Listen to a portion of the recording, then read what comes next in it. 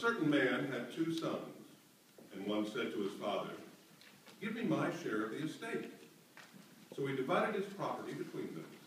And not many days after, the son took a journey into a country, and there wasted his wealth with wild living. And when he had spent it all, there was a mighty famine in the land,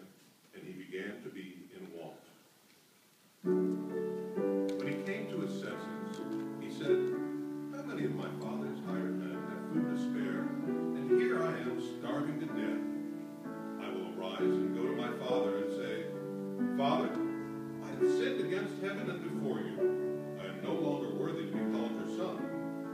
Make me as one of thy hired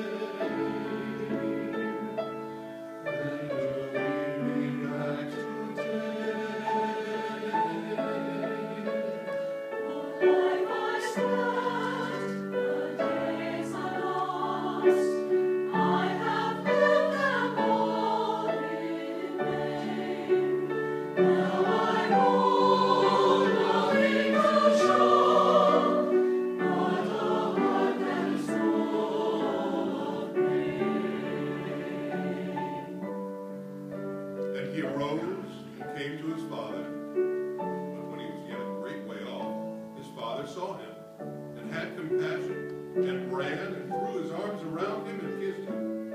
And the son said unto him, Father, I have sinned against heaven and against you.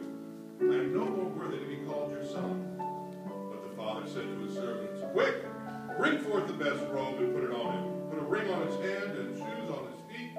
And bring the fatted calf and kill it. Let us eat and celebrate. For this my son was dead and is alive again.